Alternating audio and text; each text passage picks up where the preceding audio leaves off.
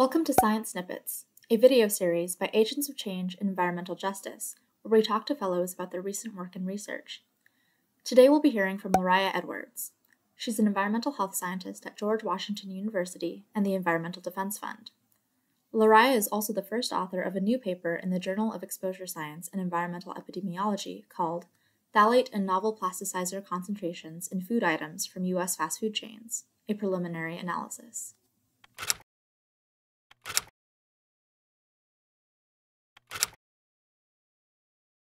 The goal of this study was to measure concentration of phthalates and these novel plasticizers, which we refer to as replacement plasticizers, in fast food items and food handling gloves.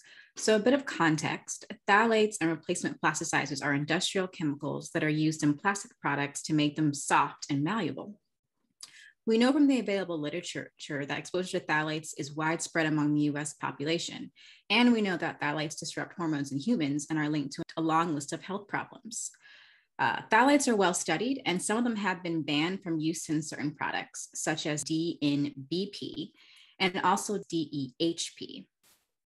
So, replacement plasticizers have been used in place of some of these banned phthalates and products.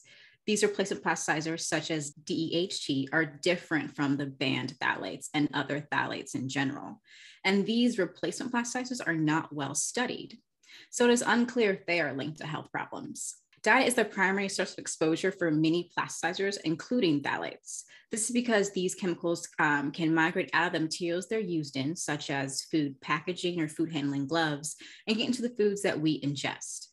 So, because fast foods are highly processed, packaged, and handled, they may be important sources of exposure for these chemicals.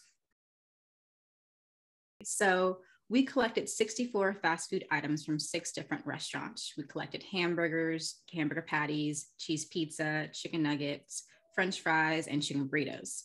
We also collected three pairs of food handling gloves from three restaurants, and all of the restaurants were located in San Antonio, Texas.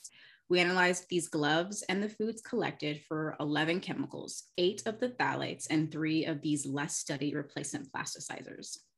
So overall, we detected 10 of the 11 chemicals in sampled foods, including fries, chicken burritos, cheeseburgers, and pizza. Generally, foods containing meats had higher levels of chemicals than other foods.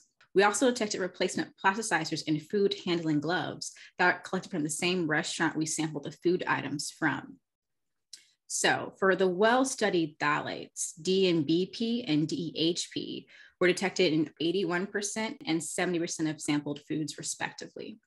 We also detected the replacement plasticizer DEHT in 86% of foods. We found that chicken burritos and hamburgers at the highest levels of DEHT and gloves from the same restaurant had also had high levels of DEHT. So this suggests that gloves may be one source of plasticizers that we found in these sampled foods.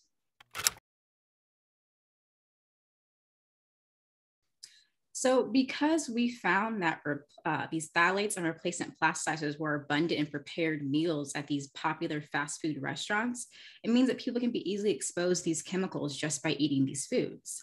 And two of the phthalates, DNBP and DEHP, were detected in over half of samples food, and these chemicals are linked to reproductive problems. So that's particularly concerning. We also found this less well-studied replacement plasticizer DEHT at high concentrations in certain foods and gloves. This means people are exposed to this chemical, even though the chemical's impacts on human health is poorly understood at the moment. It's also important to consider these results in context of health equity. So reports have shown that certain racial and ethnic groups, like non-Hispanic Blacks, are more likely to eat fast food than other groups.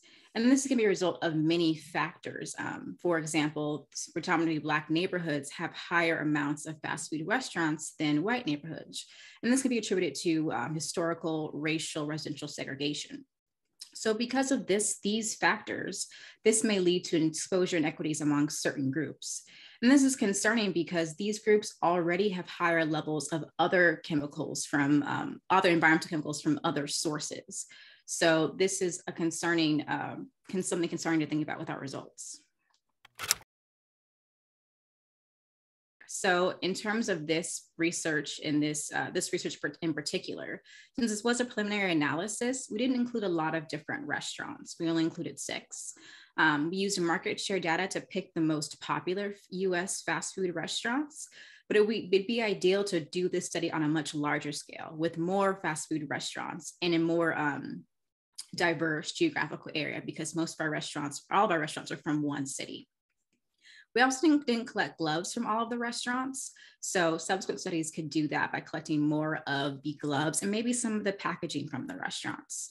Um, and thinking more broadly about our results and next steps, we need more research on to understand the chronic exposure to these replacement plasticizers. So how does being exposed to these replacement chemicals like DEHT, um, how do these chemicals affect human health on a long-term scale?